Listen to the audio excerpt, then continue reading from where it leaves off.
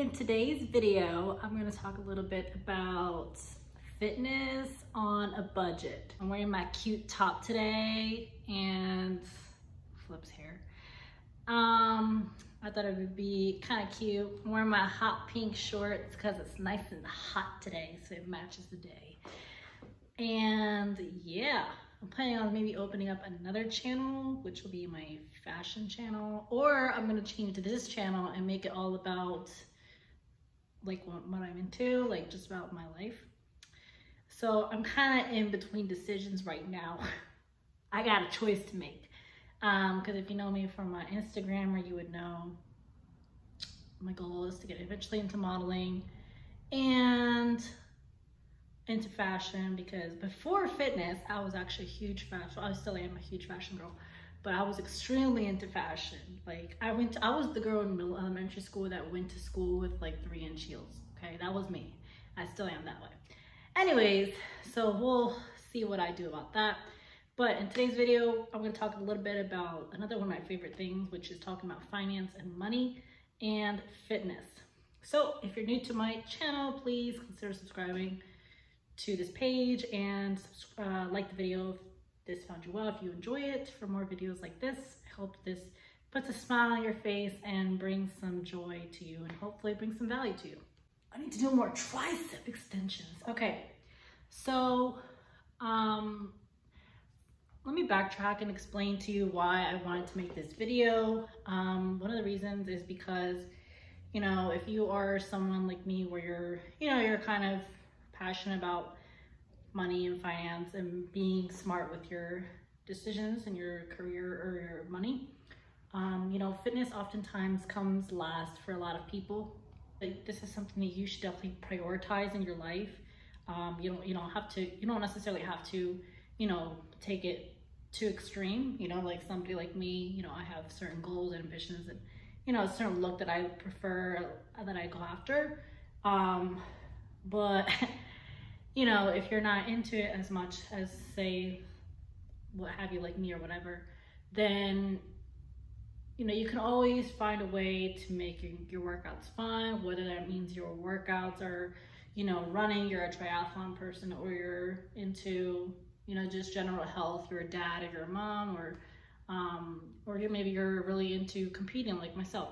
So regardless of your decision, I think it's really important to um, budget for your for your fitness and budget for your uh, for your goals. Um, and first, but let me backtrack and kind of explain why you should even listen to me. Do I even know what I'm talking about? Well, um, it'd be a little silly for somebody to make a video if they themselves don't practice it. So, um, I, you know, yes, I do practice it, and um, I think I'm qualified enough to make this video and talk a little bit about it. So when I first got started, I went to Planet Fitness. And it's only $10 a month. Um, if you're on the East Coast of the US, uh, there's a gym called Planet Fitness. It's $10 a month. I think now it's like $12 a month because of inflation. And it's a great option. One of the reasons I like it a lot is because it has all the machines that you need. It has all the cardio that you need. Um, it's open 24 hours, so there's really no excuse for you not to do your training.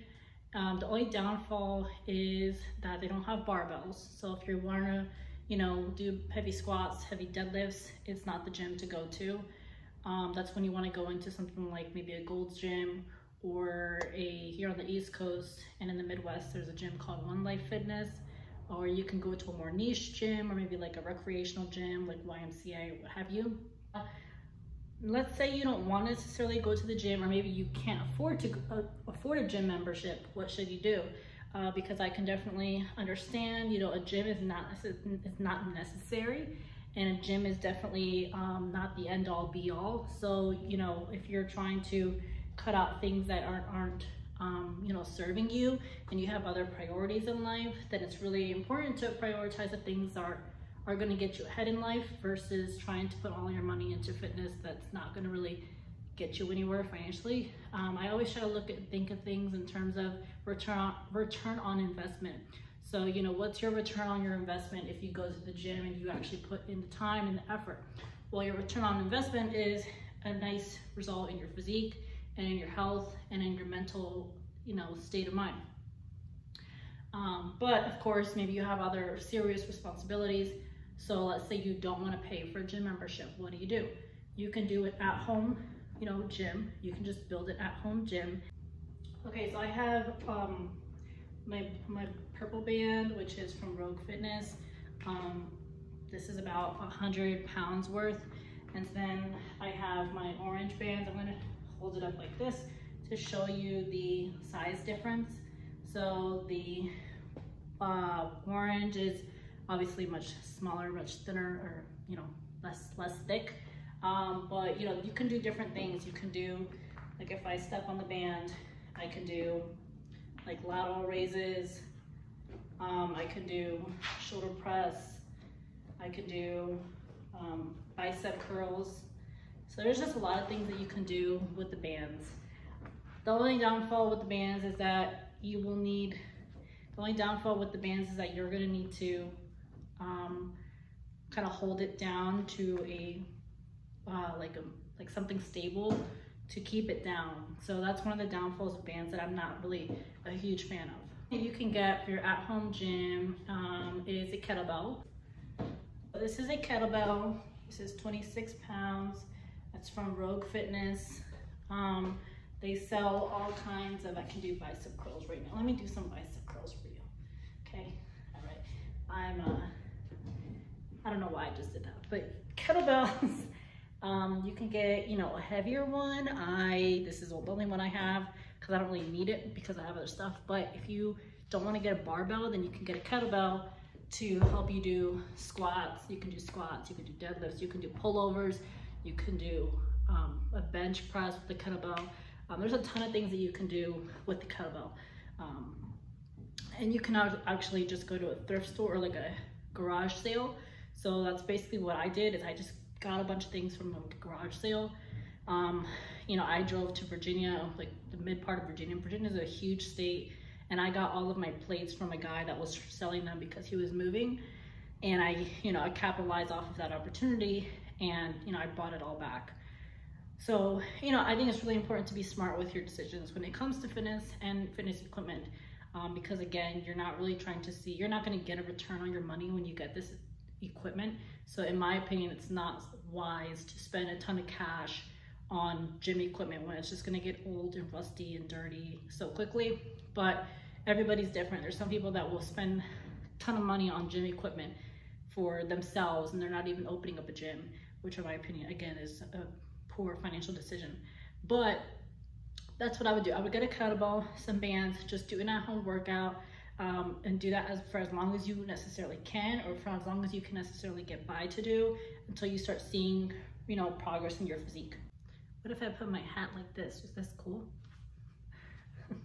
the last tip or kind of topic that I want to touch up really quickly is choosing gyms. So depending on where you are in the world and primarily where you are in the US, I try to get gyms, get, get into gyms that have a sauna. Uh, I think that the sauna, is, I've, it's amazing. I mean, the, having a dry sauna, it makes a huge difference in your recovery abilities. So, um, so look at those things. If they have a sauna, if they're if they're clean, if they are um, have the good people around, like if they the people are actually cleaning up after themselves. One of my pet peeves is if I have to pay for a gym and I see people don't clean up after themselves. I think it's really disrespectful to the people that you're around. So that's a, another kind of side thing. Um, another thing to look at is whether or not they're going to be prompt with canceling your membership. So certain gyms are not uh, considerate of maybe your financial state and they may linger and try to take as much money out of you.